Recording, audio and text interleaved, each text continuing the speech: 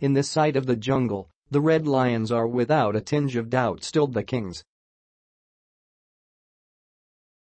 San continued its reign of dominance in the NCAA, beating a full-strength Lyceum squad 71-56 in Game 2 on Monday at the Mall of Asia Arena for a third successive championship in the country's oldest college league.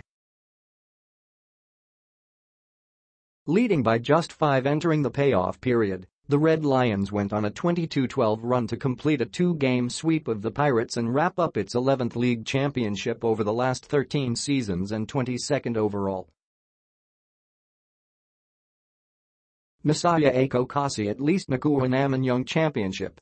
At least na Ruarden na Young Gob Pagot at Payat Njim Gob Players Co., said San Beda head coach Boyet Fernandez.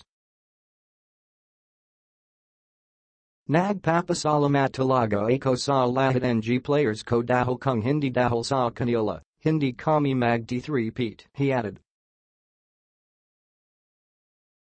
Clint Doliguez and Donald Tankoua combined for 19 of San Beda's 22 markers in the final period, teaming up in an 8-0 run that broke the game wide open, 69-50, and started the celebration in the Red Lions side of the Moa Arena. Not even the return of CJ Perez could salvage the Pirates' campaign as the Red Lions stayed aggressive from the get-go behind JV Mocon, who led the team to an early 11-point lead that set the tone for the wire-to-wire victory. Mocon finished with 16 points and 11 rebounds. He was named Finals MVP. Doliguez finished with 14 points as he also came out big in both games of the finals, while Tankoua added 13 points and 16 rebounds. Robert Bolick finished with 12 assists. Perez marked his return from suspension with 19 points, 6 rebounds and 4 assists, but that all went for naught as they got swept for the second consecutive year by the Red Lions in the league finals.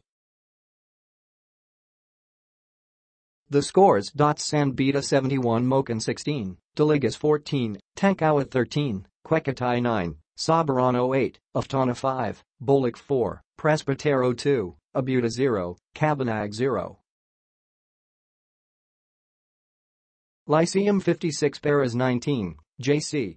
Marcelino 13, Nzeusseu 11, Preta 5, A 4, Caduyac 2, Serrano 2, Young 0,